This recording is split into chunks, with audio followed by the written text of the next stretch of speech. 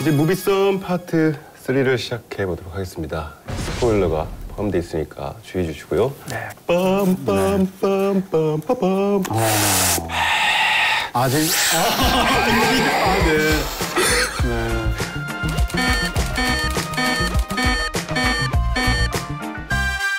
자, 일단 이 영화의 이제 스토리 고- 본격적으로 이야기를 하면서 뭐 스포일러까지 다뤄야 될것 네. 같은데 기본적으로 이 스타워즈 시리즈는 세상에서 가장 유명한 아버지와 아들 얘기예요. 그렇죠. I'm your father. 바로 그거잖아요. 우리말로 하면 뭔가요? 나, 내가 네 얘기다. 그렇죠. 다들 그렇게 적으시더라고요. 네. 가장 유명한 부자 관계 얘기인데 흥미로운 것은 이 시리즈에서 이번에 새로 나오, 네. 나오게 된 로그원 스타워즈 스토리는 부녀 간의 이야기예요. 그런 측면에서 흥미롭다라는 부분이 있고요. 이 진 어소라는 캐릭터가 굉장히 또 흥미로운 것은 일반적으로 이런 엄청난 그 영웅 대서사시의 모험을 하는 그런 주인공은 신념을 갖고 있어야 되는데 음. 엉겁결에 끼게 되잖아요. 어, 그렇죠. 아버지 때문에 네, 네. 아버지가 데스타를 끌려가서 그 만드는 일에 어떻게 보면 부역을 하게 음. 되는데 그 부역하게 된 상황에서 연합 사령부에서 딸을 데리고 와서 그 아버지를 제거하거나 혹은 접촉하기 위해서 활용을 해서 본인이 하게 되는데 If my father built it, we'll find him and bring him back. 이 주인공 그 여성 캐릭터인 지너소는 사실은 양측 어디에도 속하고 싶어하지 않죠. 그러다가 아버지의 사랑을 깨닫기도 하고 또 대의를 찾게도 되는 장면이 흥미롭게 펼쳐져 있다. 뭐 이렇게 얘기할 수 있고요.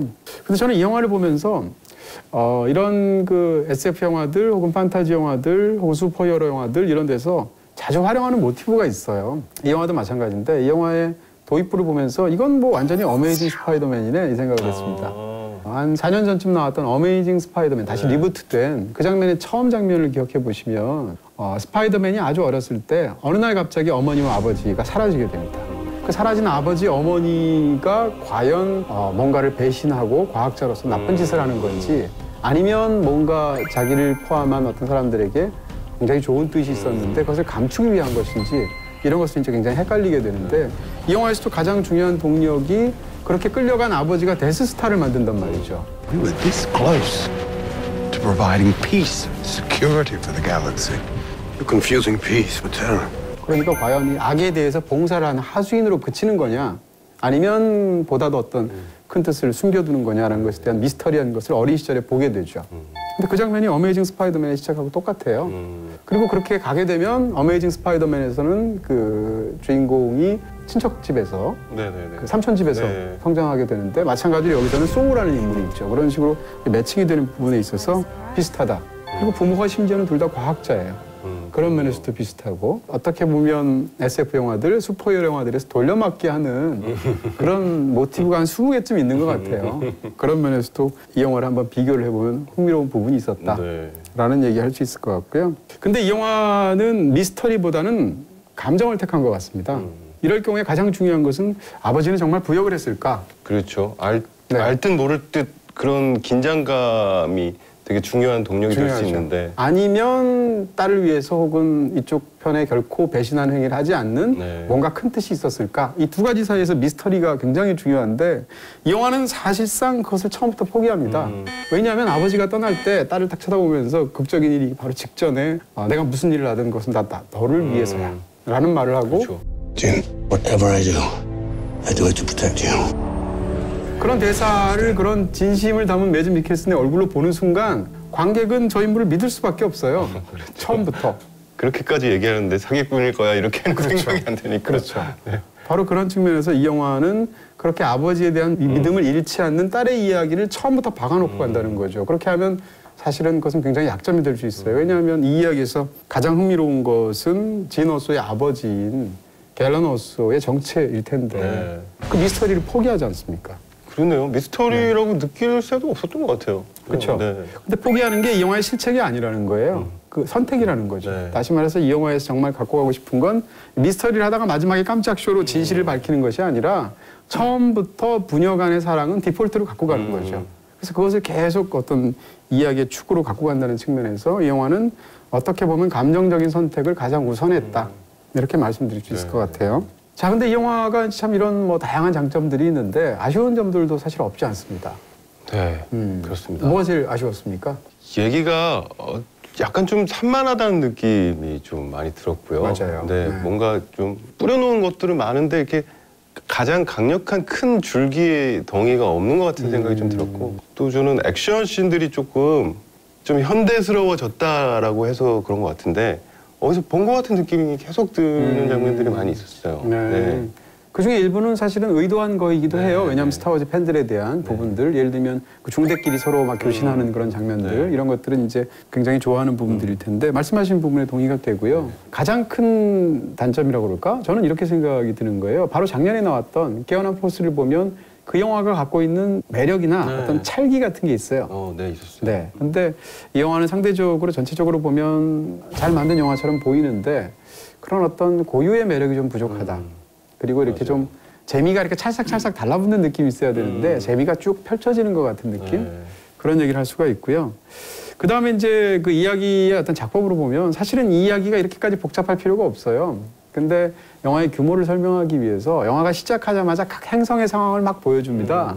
근데 행성이 예를 들면 007 영화에서 시작하자마자 뭐 스페인 나오고 이탈리아 나오고 뭐 아르헨티나 나오고 이러면 와 세계 각국에서 펼쳐지는구나 네, 이런 네. 느낌이 드는데 이 영화에 나오는 행성들은 대부분 다 일반 관객은 모르는 가상의 행성이잖아요. 근데 그걸 다 자막으로 설명할 수밖에 없잖아요. 그런 상황에서 초반에 한 1, 20분 동안 대체 이야기가 어떻게 진행이 되는 건지 굉장히 복잡하게 느껴진다는 거죠. 제가 이제 뭐 팁을 드린다면 이 영화에서 스토리가 그렇게까지 중요하지 않습니다. 그렇기 때문에 그 일일이 상황을 너무 이렇게 신경을 쓰고 보시면 오히려 맥을 놓칠 수도 있다. 그냥 편하게 보시면 된다라는 얘기를 드리고 싶고. 그리고 이제 이 시리즈에 등장하는 인물들이 뭐 이게 스포일러 저희가 경고를 드렸으니까 사실상 주인공들이 다 죽습니다. 근데. 그것은 굉장히 좋은 점이라고 생각해요. 왜냐하면 이야기가 제대로 완결되고 이렇다는 건데 이유도 있습니다. 왜냐하면 이 인물들이 어차피 4편에서 나올 수가 없잖아요. 아, 그렇죠. 이미 40년 전에 완결된 얘기니까. 그런 상황에서 새로운 캐릭터를 만들어서 이 한 회를 위해서 굉장히 장대한 스토리를 만들었다는 건 장점이죠. 근데 단점은 뭔가 하면 어차피 이 모든 인물들 모두 이제 여섯 캐릭터가 마지막에 특수부대의 작전을 수행하게 되는데 이 여섯 캐릭터 자체가 다 이 영화에만 나오는 거예요. 거기다가 어, 소우라는 캐릭터도 있고 또 아버지 캐릭터도 네. 있고 그래서 캐릭터가 굉장히 많고 그 캐릭터마다 사연이 다릅니다. 그리고 이 특수부대에 합류해서 싸우게 되는 이유가 다 달라요. 소속된 집단도 저- 원래는 사실상 다 다르다고 얘기할 수 있고 그러다 보니까 이걸 모두 다 설명하면서 같이 끌고 가야 되는데 시리즈도 아니고 네. 어, 이 영화는 그 자체로 이편으로 완결이 되는 거지 않습니까? 그런 측면에서 본다면 제한된 시간 내에 너무 많은 캐릭터와 너무 많은 서로 다른 사연들을 넣으려고 하다 보니까 이야기들을 그냥 쭉쭉쭉 설정만 나열한 것 같은 그런 느낌이 있다는 거죠. 자 이제 명대사 시간입니다. 네. 네. 네, 제가 선택한 명대사는 보스는 나와, 나는 보스와 함께한다. 인데요. 이 스타워즈 시리즈를 잘 알고 계시는 분이라면 뭐 너무나 유명한 대사죠. May the force be with you. 예. 네. 그 대사가 좀 약간 변형된 거라고 할 수 있죠. 그 견자단이 계속 주문처럼 이 대사를 계속 그 읊어대는데요. 그렇습니다. The Force is with me, and I am with the Force. And I fear nothing, for all this, as the Force wills it. 제다이는 아니지만 그 네. 포스를 믿긴 하지만 결국 그 제다이만한 카리스마는 없는 약간 좀 그런 역할인데 음. 이번 편 로그원의 좀 아쉬운 어떤 저의 그런 마음을 잘 표현해 둔 대사인 것 같아서 근데 이 대사를 한 20번 하지 않습니까? 아, 정말 많이 하죠. 그 중에서 계속 주문처럼 네, 외우는데 네. 영화 속에서 약간 신비주의자 같은 느낌이 그렇죠. 있고 데스스타의 재료가 되기도 하고 또 네. 광선검의 어떤 동력원이 되기도 하는 카이버 크리스털이라는 것이 갖고 있는 카이버 사원을 지키는 사람들이잖아요. 그런 면에서 인상적이기도 하고 그리고 좀 약간 과용되기도 네, 했고 그렇습니다. 그런 어떤 여러 가지 네. 느낌을 주는 부분이었습니다. 네, 이제 로그원 스타워즈 스토리의 별점을 알아볼 시간입니다. 네, 로그원 스타워즈 스토리의 제 별점은 세개입니다 무난한 스타워즈 네. 시리즈라고 생각이 들고요. 특히 이제 이 영화의 어떤 시각 효과를 기대하시는 분들이라면 기대하시는 부분을 보시지 않을까 네, 싶은 그런 작품입니다. 아쉽게도 올라가지 못하겠군요. 네, 연말이니까 네. 뭐 최고 영화들만 올라와 있어서요. 자, 이렇게 해서 오늘은 로그원 스타워즈 스토리에 관해서 집중적으로 이야기를 나눠봤습니다. 저희는 또 다음 주에 뵙도록 하겠습니다. 감사합니다. 감사합니다. 어, 여러분 혹시 잊으신 거 없으신가요? 아직 구독 안 하신 분들 꼭 구독 눌러주세요. 눌러주세요.